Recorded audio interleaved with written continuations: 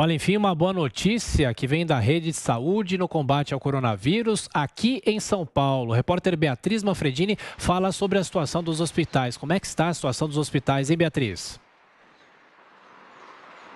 Olha, Tiago, a gente teve o menor número de hospitalizações diárias na última semana, desde o início da pandemia. Para a gente ter uma ideia, foram em média 740 hospitalizações por dia, um número 12% menor do que na semana passada e muito menor do que o pico da, o segundo pico da pandemia em março, por exemplo, a gente tinha mais de 3 mil internações diárias. Então esse número de agora de 740 é um número mais de quatro vezes menor do que a gente teve nessa segunda onda que aconteceu aí no início desse ano. E a notícia não é boa só para o número de hospitalizações, mas também é boa para o número de óbitos, por exemplo. Na última semana foram 188 mortes por dia, em média, número quase 21% menor do que imediatamente na semana anterior. A mesma coisa acontece com o número de casos aqui no estado de São Paulo. Pela primeira vez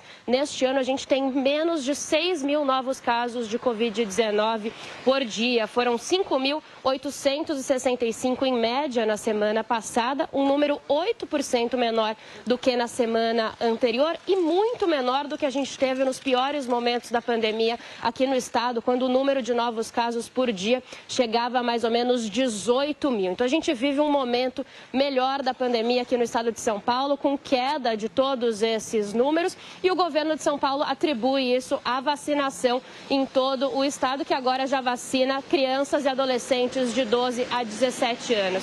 Eu separei os números aqui do estado de São Paulo. Olha, atualmente são 145.522 mortes por Covid-19 né, desde o início da pandemia e 4 milhões 253 mil 516 casos. Tiago.